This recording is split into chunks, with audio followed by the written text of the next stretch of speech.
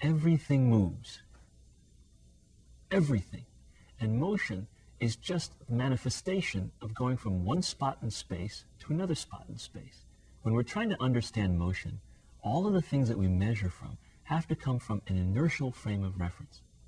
An inertial frame of reference is a reference frame that's moving at a constant speed and not changing direction.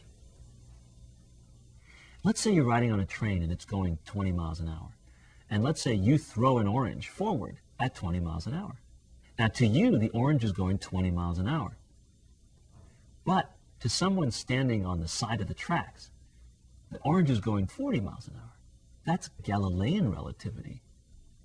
According to Galilean relativity, every speed can add with every other speed in any frame of reference. But the speed of light, it turns out, doesn't add. The Michelson-Morley experiment showed that the speed of light could be constant no matter what direction you moved. Albert Einstein's the first person to assume the speed of light is constant for any observer. So Galilean relativity breaks down. It's wrong when you're trying to measure things traveling at or near the speed of light. When Einstein accepted that the speed of light is constant for any observer, he worked out the mathematical equations from that assumption. And he found out that the consequences were that when you have motion through space, then you move more slowly through time. Lengths get shorter, mass increases, clocks run slower when you move.